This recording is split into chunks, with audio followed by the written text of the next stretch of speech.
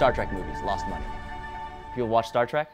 I thought it was a really good movie, but Star Trek movies have been losing, an, on average, for Paramount, the studio that produced it, on average $30 million per movie. And they're paying an annual fee to CBS to license the property of Star Trek, which is upwards to about 10 million per year to be to keep exploiting that property. So why does that happen and why are certain big movies not successful and why are certain smaller movies like It?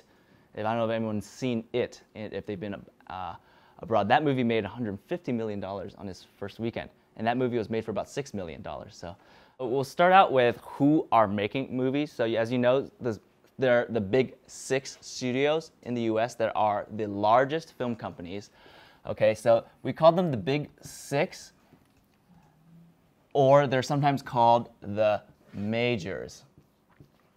Okay, I'll, I'll talk about why they're called the majors, and that's Paramount. Sorry, my writing is terrible. Sony, Fox. It's called 20th Century Fox, but I'm just going to use a abbreviation. Universal, Disney, Warner Brothers, I'll just write that as WB.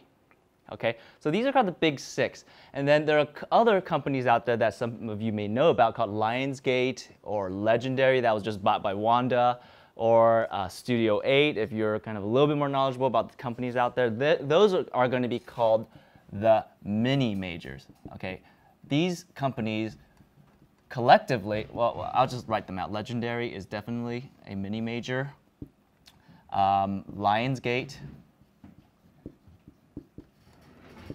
Studio 8. There are a lot more of them. And arguably, a lot of people would include the company Studio Canal as well, which is one of the largest distributors in Europe.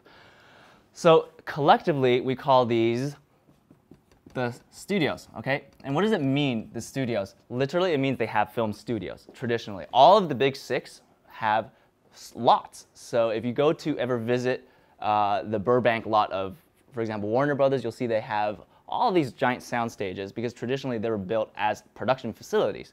They didn't necessarily finance the movies because if you made the movie, if you shot the movie in the past during the, the birth of Hollywood, usually you'd be the one paying for it.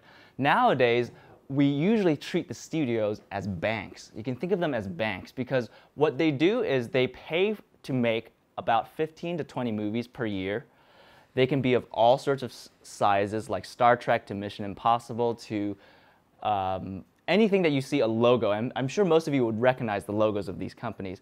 When you see that logo come out, that usually means that companies paid for almost 50% of the costs to make that movie. It also means that this the film is likely shot on the studio lot, so on one of the sound stages of these facilities. And also means that these are the companies that distribute. So the studios usually will be the financier and distributor, okay? So what does it mean to distribute a film? It's literally just to make sure, uh, to do door-to-door -door sales to all the local theaters in all the cities in all the world, knock on their doors and say, this is our film, here is the DCP, the, doc the document you need, the digital file of the film and this is how many screens I want you to commit to it.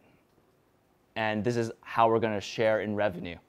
So it's to get the film into all of the screens. So the, the process of distribution is very labor intensive because you can imagine there are 35,000 screens in the major cities of the US. There are 49,000 screens in China. Okay, and there are about 2,000 different um, exhibit, we call them exhibition companies, so theater, theater chains in the world. And sometimes when you have a big one like AMC, you may have the luxury of dealing with the head of North America at AMC. You can then get a distribution deal for all of North America just by knowing that person. But for most individual theaters, you need to literally go and talk to the theater managers. So you can imagine the labor that that entails. And that is why the big six average, on average, employ about 2,000 to 3,000 employees worldwide. That is why also they're the most powerful and they have the most money and they have the most influence in what and who gets to make a movie. So these are the studios. Now, the, studios, you can think of them as banks because while they pay for everything and while they distribute everything and while they sell everything, they're not the ones actually making the movie because the producer is the person who go out and goes out and makes the movie. Okay, so the producer, what they do, there are six things you can do to be a successful producer. One, you can know a lot of actors or a lot of directors. We call them talent. Okay, so you know all these people, you know what they want, you know what their quirks are, you know what kind of stories they like, and you've read a lot of books. You know who the publishers are, you know what may be the next successful YA novel out there. A good friend of mine named David Heyman, who's based out of the UK, read Harry Potter because he knew the publisher of J.K. Rowling, who was about to publish this book. Two months ahead, he sent a rough draft to my friend David. He read it and he bought the rights to it for $20,000 before it was even published. And then lo and behold, it became a huge, huge hit. And that is why David Heyman is the producer of all the Harry Potter movies. And the other is he himself may also have some money. A lot of producers actually come from a um, business background. So this is why I'm going to assume all of you guys are going to be the future golden producers who are going to make the best movies out there possible and sure as hell make better movies than what Hollywood is offering now. I'm going to write production. What this means is they really have a lot of time and expertise on their hands. They know how much a car costs that will take the, the production equipment from the rental place to the studio. They'll know how much an actor's fee should cost. They know when the gas and electric bills are are completely inflated. They'll know how many, you know, caterers to hire for. These guys run the production. Okay, there are that kind of producers as well. So these guys, these particular set of skills enable you to really do what we call producing. And what it really is, is you're just throwing a party and then you're inviting all the people and then you're making sure that the party has a nice house and a nice environment to, to, uh, to be fun. So the producer puts the movie together. Usually what happens is that you, as a producer, you have a book that you like, you know the publisher, let's say if you're someone who goes through, through the IP route, you would then option the rights to use that property. And now you have, you're in business. You have a legal document on your hand that allows you to adapt this property into a screenplay. And then you take that to screenwriters. And there are a lot of agencies out there. So I'm going to just quickly go over another important business out there. So talent agencies, okay? The, the big ones are CAA, WME, and UTA. So you'll go to any one of these agencies who are the managers and agents of writers, other producers too, directors, and actors and actresses you approach them and say, I have this screenwriter who is really, really good at adapting Harry Potter. And then what you're going to do is you're going to go knock on all the doors of these guys. And one of them is going to grant you money. Okay, that is the quickest way to get a film made usually, um, is if you have IP on your hands. Now, there are certain producers who are very close to a particular director. So for one example, Ridley Scott, who all, I'm sure all of you know, he's the director of Gladiator. He did Alien, Alien Covenant, all of those movies. Mark Huffam is a producer on a lot of his movies. That's because Ridley got to know Mark really early when he was 39, finally getting into film business. Mark was a production manager in the UK at Pinewood Studios. He was the one who ran all the production, uh, all the productions that Ridley did. Even before he turned into a film director, Ridley directed 2,000 ads as an advertisement director before he came into film directing. So the two are essentially partners. So it's very easy for Mark to go talk to one of these guys and say, hey, Ridley wants to make a movie. Why is it important? Because he's made a lot of other successful movies. So as a bank, if you really treat these guys as a bank, they have a, a, a valuable asset on their hands, even if it's completely intangible at this point. So all these studios, when they do a deal with the producer, usually they'll do a financing deal. Okay, so they'll do a deal to finance the development production, and distribution of the picture. So this, I, I can't write on this. Okay, so this goes into the lifespan of the picture. So first stage of filmmaking we call development. So this starts to happen as soon as a producer has any one of these.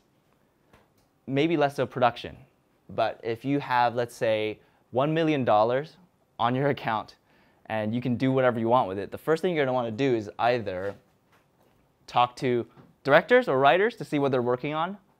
Um, sometimes writers will write things on, on their free time without being paid. We call this a spec script. Um, they'll have tons of these things.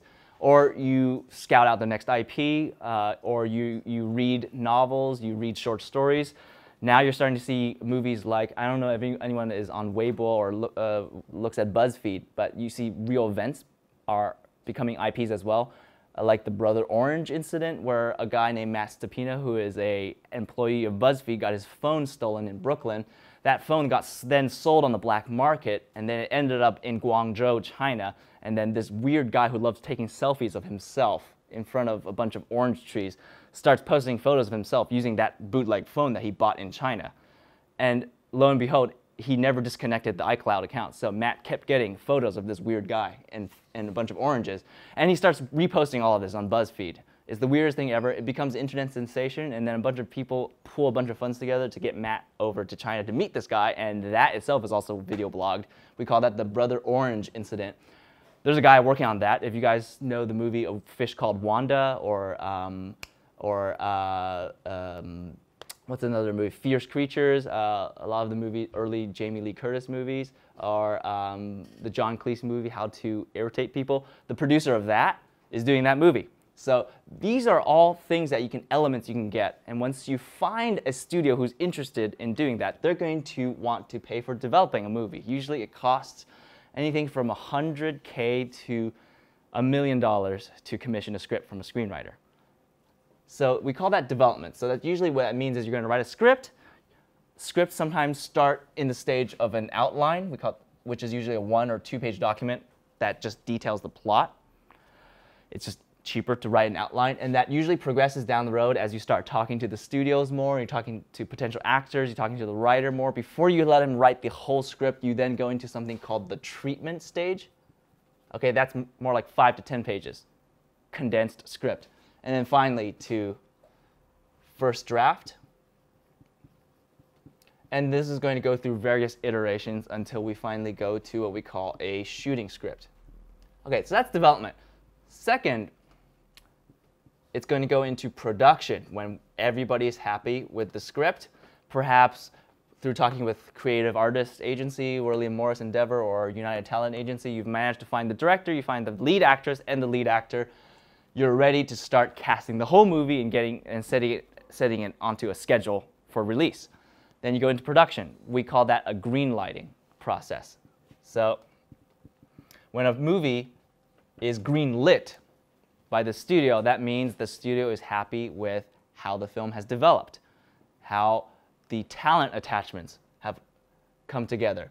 And they're going to set it for production, which means that they're going to put a lot of money into it and they're going to start putting it on a time deadline to shoot and to release. So I'll just really quickly then on this side go over what green lighting really means and how a studio thinks when they green light a movie. So why they call it green lighting, I don't know. There's a the really most annoying thing about the film industry is they use all this really weird lingo, which sometimes green lighting, in my view, it just means saying yes. Sorry. I have just one quick question. Um, among the or within the development process, the only party involved is the producer or already the big studios?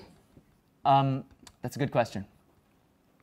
So if you're a producer who's like David Ellison, the son of Larry Ellison, you have a company called Skydance that has $200 million in your account, you're going to want to develop your own material on your own money without approaching a studio. Because when you've developed it yourself, you own the property, you have much more say in that matter. It's a cleaner process, less cooks in the kitchen.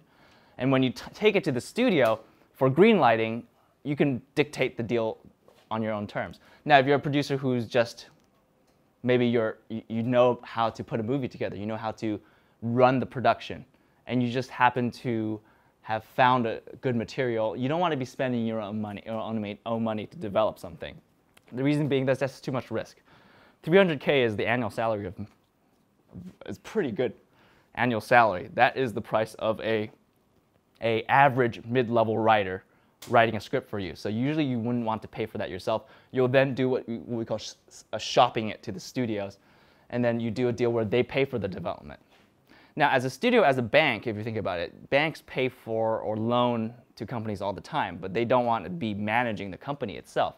So studios are fairly happy hiring a producer and then paying for the development of one of his projects, because in their mind, that means they don't have to do any of, any of that. And it's a slow and painful process for many people to be developing things, because a script is like a, is like a human body. You, when something goes wrong with this part of the body, you can't just cut it out because that's going to affect how the other parts of the body go. So if you don't like the ending of the script, if you just change it, that changes how you're going to have to write the beginning too.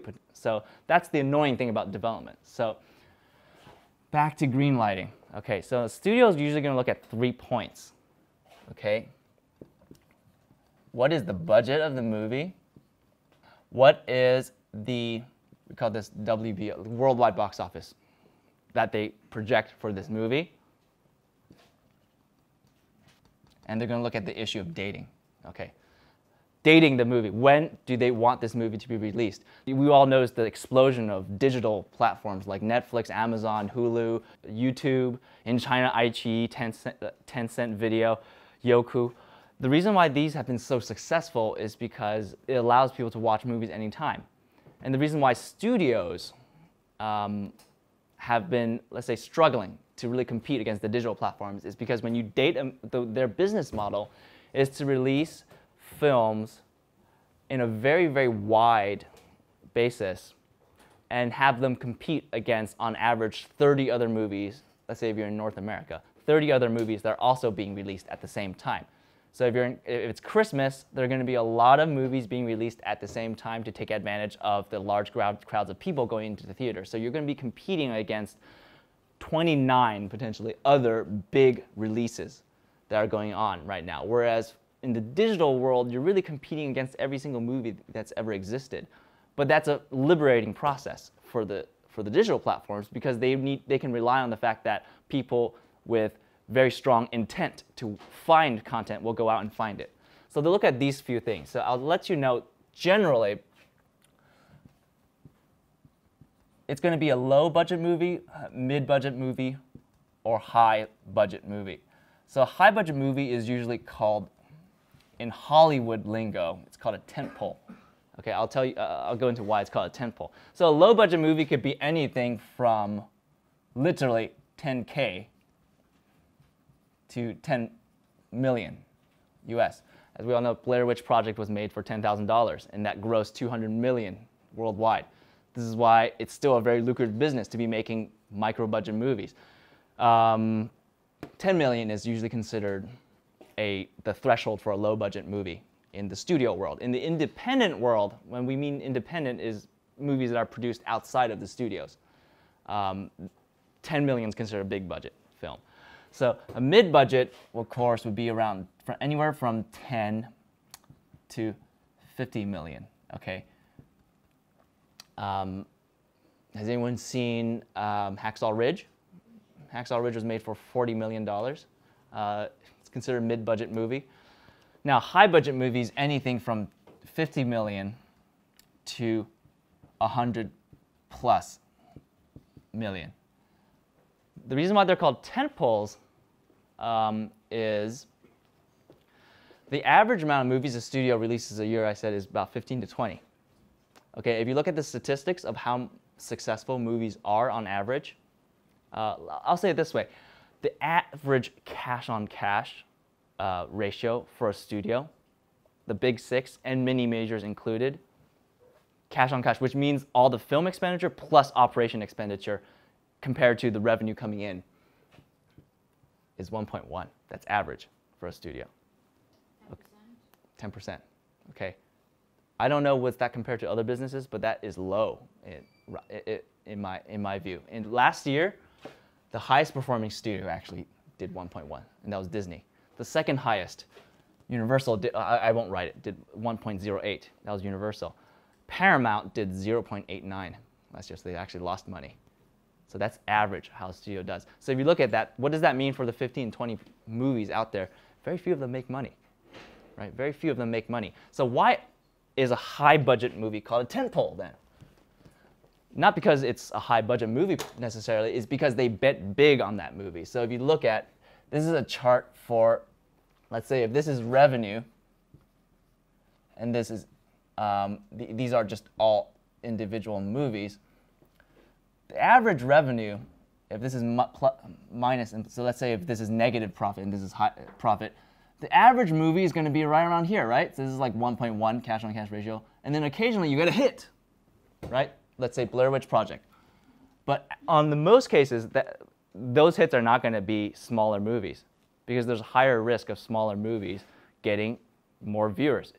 The, the expectation from the studios is that this kind of revenue is going to come from Mission Impossible, or it's going to come from Avengers, or it's going to come from Avatar, or if it's going to come from uh, you know, other movies that are usually branded, very expensive movies. So that's why the expensive ones are tent, called tent poles because what it does is support the entire, entire tent that is the studio. It's a hit-driven market uh, to be making movies because you want to bet big on movies that attract a large amount of audiences so that you can pay for the rest of these guys. So that's the whole business of studio filmmaking. But one can arguably say that is the reason why their cash on cash is at best 1.1 there is, of course, like problems in how studios are run, and that's why you see the success of digital platforms. You see, see the success of individual producers sometimes forming their own companies. I'll give you one example. Are there any horror fans here? Uh, uh, people like watching horror movies. Insidious. Anyone see Insidious? Um, you watched Insidious? Okay. Uh, Paranormal Activity. Um, uh, you're frowning. You're not into that kind of stuff. Okay. Those, uh, Paranormal Activity. Uh, what's that other movie with Ethan Hawke in it? Um, oh God. Um, the last one called uh, It, uh, Annabelle. Those these movies that I mentioned are all made by the same company, same producer, called Jason Blum, called Blumhouse Productions. He's an individual pr producer, and he's been incredibly profitable, more profitable, a better cash on cash than the studios. One man having a better, higher cash on cash. So in any case, they're going to look at the budget. Okay, so they know immediately: Are we going to? Is this going to be a tentpole that we bet big on? Which, by the way, of the 15 to 20 movies, they are on average only released four to five tentpoles because you're betting on average 100 plus million dollars on this movie. Star Trek, the last one, which uh, I invested in when I was at Alibaba, cost 220 million dollars to make. 220 million dollars. That's a I don't know, maybe it's not, that's not a lot of money to some of you because if you're, if you're analyzing, like, I don't know, the, uh, medical companies, pharmaceuticals, that's probably just very, very insignificant. But worldwide box office, okay? Worldwide box office. This is something that the studios care a lot about, how this movie can sell. And I'll tell you roughly, I'm going to get rid of dating because um, we'll talk about that later. So what contributes to the box office of a movie? On average, the box office of a studio movie is 30% theatrical, almost 40%. Um, we call this the ancillary revenue streams. And this includes TV, digital, and home video. Okay, Star Trek sold 90 million in DVDs. Okay, 90 million in just in home video alone, DVD and, and Blu-rays. And then of course, 30% in merch, or uh, we call this, uh, or just theme parks. Okay, so if you go to Universal Studios, you know, there's Jurassic Park, there's Terminator, there's all of these, these film themed rides there that license to the theme park the rights to develop a ride that is branded with the movie's brand, and then there'll be a profit sharing of ticket sales to that um, to that ride. So the, okay, 30% theatrical, and it's almost 70% something other stuff.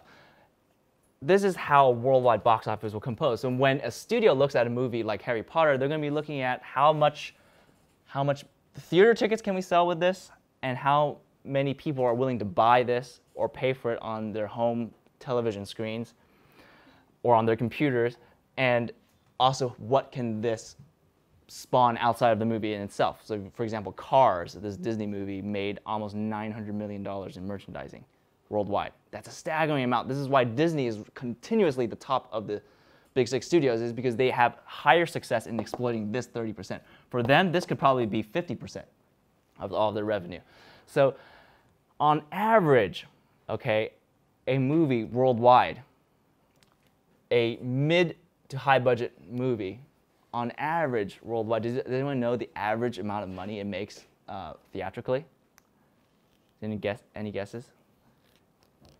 On average, a mid-budget movie. Okay, so I, won't um, deal with low-budget movies. They're really kind of a a, uh, a, a wild card here. For mid-budget movies worldwide, they make on average 77 million. Theatrical, okay, box office. Now for a tentpole, they make usually on average 120 million. Why is this number so low? It's because a lot of tentpoles do poorly. And you're seeing this, this is the Hollywood crisis now. Their studios are betting big on tentpoles that are not actually making that much money. Now let's look at a particular case study. So um, has anyone, so, so, we've all seen Dunkirk? Is that movie some, some people have seen? Um, that's a recent Warner Brothers movie directed by Chris Nolan. So Dunkirk, I'm forgetting the numbers. I think it made 550 million worldwide. Let's just say that it made 550 million worldwide. Does somebody have a calculator, by the way? Um, can somebody ready a calculator? Because I'm not very good at math. I'm really sorry. Um, so this was the W, the worldwide box office of Dunkirk. Okay how much money are you actually making as a studio from that? Okay, so on average, the way distributors deal with theaters is we sign a contract with the distributor. We say, uh, sorry, sorry, the, the, the distributor signs a contract with the theater. Say you are going to give me this and this many screens to show my movie, and we're gonna, you're going to give me what percentage of the box office sales you have for that movie. So for a smaller movie, it's harder to get a theater to play it because they're going to think there's an opportunity cost to committing a screen to this smaller movie because I'm losing that opportunity to show it on a big movie, to commit that screen for a big movie. So usually they're going to charge more to act, uh, and they're going to keep more of the ticket sale to themselves. So for every single ticket sold, they're likely to, to keep 70 to even 80% of that ticket price for themselves. But for a big big tentpole like Dunkirk, that number, okay, so we're going to call this, I'm using Hollywood lingo here, so please, please bear with me because I know you're all going to be future producers and you're going to want to be, you know, armed against Hollywood technoblabble, okay? We call this theatrical rentals. The reasons why it's called theatrical rentals is because they actually used to rent um, the negative, film negative, to theaters to use while they're showing the movie. So usually for this, it is anywhere from 40 to 51% of ticket sales. Okay. Dunkirk, because it was distributed by Warner Brothers, they have a worldwide deal with most exhibitors for this number to be 45. So that means Warner Brothers is going to be getting 45% of this number. So what is that? Can, can somebody do, calculate that for me?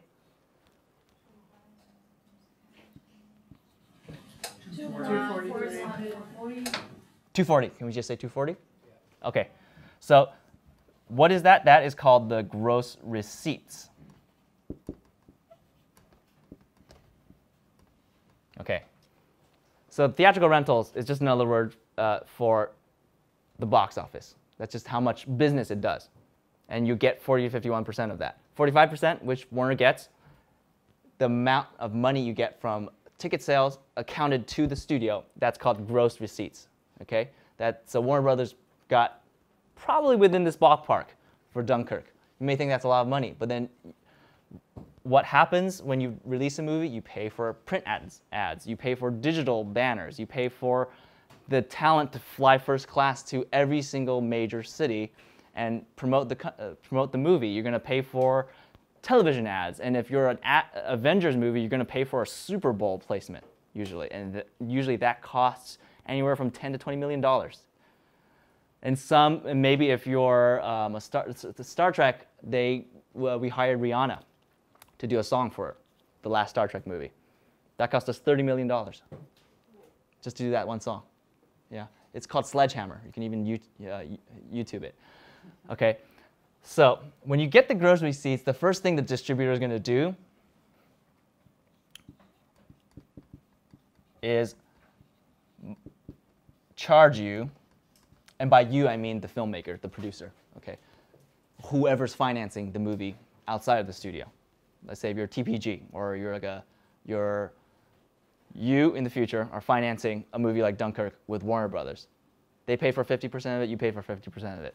Since they're the distributor, they get this amount of gross receipts. Now they're going to minus print and ads from that because they pay for that out of pocket. So the average print ad, let's say on a billboard by, let's say Highway X, if you're in New England, is going to cost about 2,000 US dollars per hour to rent. Okay, that adds up after a while. Okay, I'll tell you for a fact, because I have friends at Warner Brothers, that Dunkirk cost 180 million dollars to market. That's scary, isn't it? That's really, really scary. I'll tell you why China has become such a big theatrical market and why the studios really care about China. Because when I released uh, Star Trek Beyond in China, I'm not bragging, okay? This is just the this is just market price in China. When I released Star Trek Beyond, I I spent $5 million to release it in China. Because you don't need print ads here, right? Why would you pay for a print ad in Sanlitun when I, let's say I am Alibaba, I can commit a digital banner on the head of Taobao or Alipay for free, right? So that, that is, this, this is coming later in the talk. So, so it costs $180 million. So then you're left with what we call adjusted GR, adjusted gross receipts, okay? Uh, $60 million. Okay, now what gets subtracted next? How much it costs to make the movie, right? Now, you're going to then subtract the negative costs of producing the picture. I don't know why it's called the negative cost. I would just say it's just the cost of the picture, but they just had to say it like that. But um, Dunkirk cost $100 million. It cost $100 million. Exactly. So from the theatrical alone, we're negative 40 million here. So, but you don't have to freak out because Warner Brothers did, I think, almost, it hasn't been released in DVDs yet, but Warner Brothers internally is projecting it to make $40 million from DVDs and then it's going to probably not do much in merch, but it's going to do something on digital because either Netflix or Amazon's going to swoop in and pay either 20 or 30 million dollars just for worldwide rights. In any case, you see Dunkirk is such a such a I think it's a creatively successful movie. But it's not making Warner Brothers a lot of money. It's really not making them a lot of money. And then you look at a movie movies that may make money from this kind of ratio. You really see that it's either Avatar or it's either the Avengers, or it's either something that is superhero oriented, or it's a potentially a low budget hit. But then I'll give the average amount of movies that make it for the low budget range. The average amount of movies that actually make money in low budget is even worse than mid budget and tent poles. So this is a crazy, crazy business, financially speaking. In any case, uh, we were in the greenlight process. They're going to look at the worldwide box office and they're going to do a back of the napkin calculation like that. Okay? And then the dating, of course. They're going to be looking at the competition for the release of Dunkirk. Um, I'll give you one example of where dating really becomes an issue. Uh, you guys watch movies here, Chinese movies? You ever try to watch a Chinese movie or sit through one? Um, in uh, August 1st, uh, they released two major movies in China. Called, one was called Wolf Warrior 2, and one was called Founding of the Army. 建军大业 and um, uh, and um, Lang Er. Okay, these two movies were released together on August 1st. Wolf Warrior 2 made 55.6 billion RMB, and the other movie only made 300 million. Okay, so as two movies both talking about the greatness of the Chinese army and military action, the fact that two run into each other on the exact same date is highly risky for both of them. Right? It's highly risky for both of them. Now, so you may ask, why did the two distribute the two dis different distributors of those two movies decide to date the movie on August 1st? That's because August 1st is the celebration of the founding of the Chinese army. We call it Ba Yi Jianjun Jie. Right? They thought that that was the right time to be releasing a movie talking about the Chinese army because that is a date like, I'll give you another example. Independence Day was released on Memorial Day. Um, the second, in, the first Independence Day was released on Independence Day. 2012, that disaster movie was literally released on December 12th. Uh, you'll, you'll, you'll do stuff like that because you think it's topical and it's within the conversation. Now, the problem is that always results in competition and one fails and some prevail. Uh, the explanation as to why Wolf Warrior 2 beat Founding of the Army so, so much often is articulated this way. A lot of people would say, uh, and this comes from the head of SARFT, he says, you look at a film that celebrates how powerful China is now compared to a film that asks you to not forget how much your forefathers suffered.